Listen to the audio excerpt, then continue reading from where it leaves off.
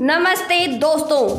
दुनिया भर में कई बेहद खतरनाक नदियाँ और झीलें हैं। आज हम एक झील के बारे में आपको बताने जा रहे हैं, जिसके बारे में जानकर आप हैरत में पड़ जाएँगे। साल 2013 में इस झील को डरावने वाली तस्वीरें सामने आई थी। Wild life photographer Nick Brandt ने इस झील की तस्वीरें ली थी। इन तस्वीरों में जानवरों की जम चुकी लाशें थी। इस झील के पानी की वजह से जानवर पत्थर में बदल गए। जी हाँ जानवर पत्थर में बदल गए। इन दर्दनाक तस्वीरों को देखने के बाद दुनिया के लोग हैरान हो गए थे। इस खतरनाक और खूबसूरत झील का नाम नेट्रॉन झील है, जो तजानिया में स्थित है। अरुसा क्षेत्र के उत्तरी नोगोरोगो ज़िले में स्थित नोट्रोन झील का नमक का झील या सारिय झील कहा जाता है। माना जाता है कि यह झील बेहद ही खतरनाक है। बताया जाता है कि इस झील के संपर्क में आने वाला जीव पत्थर का बन जाता है। दरअसल, नेट्रॉन झील वन्य जीवों का घर माना जाता है।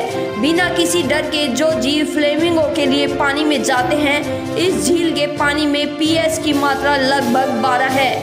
यह घरेलू ब्लीच के बराबर होता है। इस झील के पानी में शिकारी जीव अधिक समय तक ज़िंदा नहीं रह सकते। ऑल ज्वालामुखी की वजह से इस झील का पानी खारा है। यह है ज्वालामुखी दुनिया की पहली ऐसी झील है जिसमें अजीब लावा यानी नेट्रोकार्बोनाइट बाहर आता है। नमक की झील के आसपास की पहाड़ियों से सोडियम कार्बोनेट और अन्य खजीनों के नेट्रोकार्बोनाइट में खींचने की वजह से पानी खारा हो गया। इस झील के पानी में पीएच की मात्रा अधिक होने की वजह से अधिकतर जानवरों की त्वचा और आँखें जल जाती है। इसके देर तक पानी में रहने की वजह से जानवर मर भी जाते हैं। फ्लेमिंगो पर त्वचा सख्त और पपड़ीदार होने की वजह से पानी का प्रभाव नहीं पड़ता, लेकिन इंसान की त्वचा नरम होती है।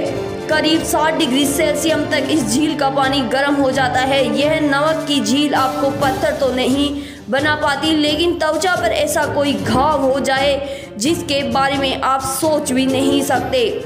इस झील के पानी में इंसान जितनी देर तक रुकता है, उतना ही जलता है। लेकिन बारिश के मौसम में पानी में पीएच की मात्रा बदलती रहती है। परिस्थितियाँ अगर खराब हुई तो इंसान बुरी तरह जल सकता है। इसीलिए इस झील को बेहद ही खतरनाक कहा जाता है।